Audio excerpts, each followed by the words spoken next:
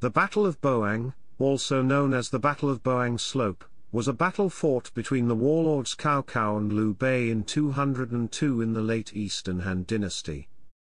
Chapter 1 Background Liu Bei originally sought refuge under the northern warlord Yuan Shao after being defeated by Cao Cao in 200 at Xu province.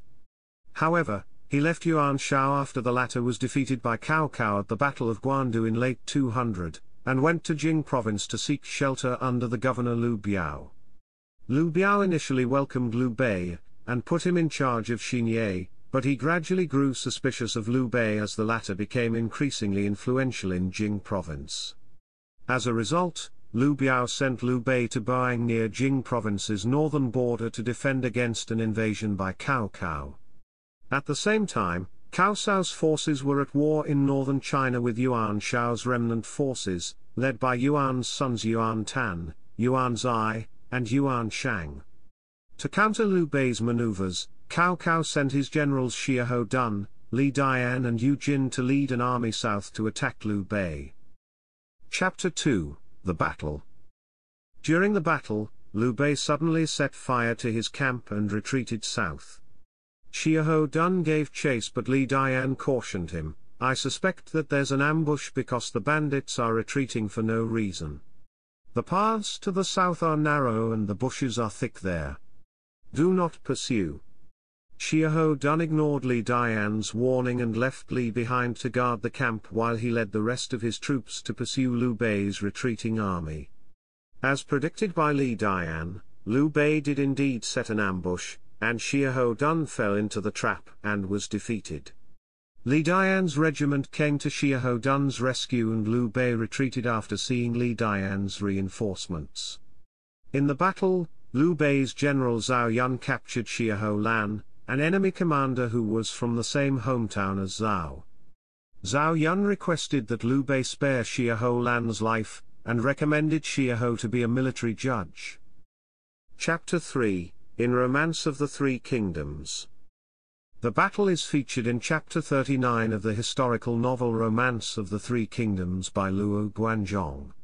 Cao Cao sent Xiahou Dun to lead 100,000 troops to attack Liu Bei in Xinye. At that time, Zhuge Liang had just joined Liu Bei's forces and had not made any contributions yet. Liu Bei's sworn brothers Guan Yu and Zhang Fei were reluctant to follow Zhuge Liang's orders, so Zhuge borrowed Liu Bei's sword and official seal to establish his authority.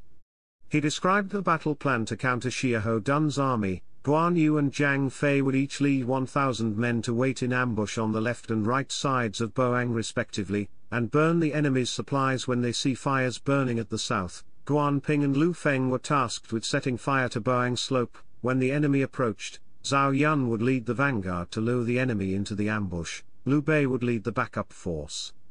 Zhuge Liang also asked Liu Bei to prepare for victory celebrations. When Xiahou Dun arrived at Bowang, he selected half of his troops to be the vanguard while the rest defended the supplies.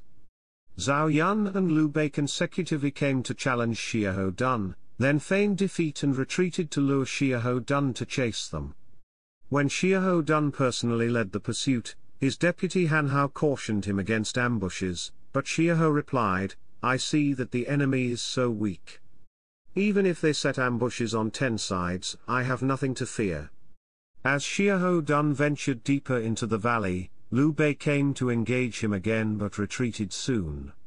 Xiahou Dun laughed and said to Han Hao, So this is the ambush you were talking about, and then advanced towards Xinye. During the pursuit, Jin and Li Dian arrived at a narrow position, and a worried Li told you, one who underestimates the enemy would certainly encounter defeat. The terrain here is rough, what if the enemy uses fire here? Jin understood Li Dian's concern and rode ahead to warn Xiahou Dun while Li tried to stop his men from moving further. Xiahou Dun suddenly realized the danger he was in and tried to retreat but Liu Bei's forces lying in ambush had already set fire to his surroundings. Strong winds helped to spread the fire as Xiahou Dun's troops panicked and stumbled on each other as they attempted to flee, while Zhao Yun turned around to attack the enemy. Xiahou Dun escaped by bashing through the flames and smoke. In the rear, Guan Yu and Zhang Fei's men set fire to Xiahou Dun's supplies as Han Hao and Xiahou Lan attempted to save the supplies. Xiahou Lan was slain by Zhang Fei while Han Hao fled, along with Li Dian, and Yu Jin. The following morning, Xiahou Dun gathered his surviving soldiers and retreated back to Xuchang. After the victory, Guan Yu and Zhang Fei changed their attitudes towards Zhuge Liang and treated him with full respect. Meanwhile, in Xuchang, Xiahou Dun bound himself and met Cao Cao, requesting death as punishment for his defeat, but Cao Cao forgave him and released him. Cao Cao also rewarded Li Dian and Yu Jin for their foresight. Historicity Liu Bei's biography in the Sanguozhi mentioned that Liu Bei resisted Xiahou Dun and Yu Jin at Bowang. He prepared an ambush and set fire to his own camp and pretended to retreat. Xiahou Dun pursued Liu Bei and fell into the ambush and was defeated.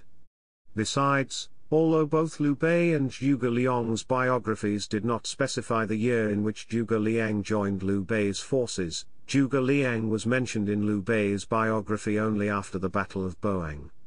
There was no mention about Zhuge Liang's involvement in the battle. Chapter 4 In Popular Culture the battle provided a basis for many skits in the different types of Chinese opera. For example, it was featured in Cantonese opera and Ziju. The battle was also featured in many Three Kingdoms themed video games, such as Capcom's Warriors of Fate, Koei's Sangokushi Koumeiden, Sangokushi Sousouden, and Dynasty Warriors 4. The battle is the first stage in Warriors of Fate and Sangokushi Koumeiden. The ancient battleground of Bowang is now designated a county-level heritage, where a stone monument commemorates the battle. Broken halberds and ashes of grains were discovered there, and were archaeologically determined to be from the late Han dynasty.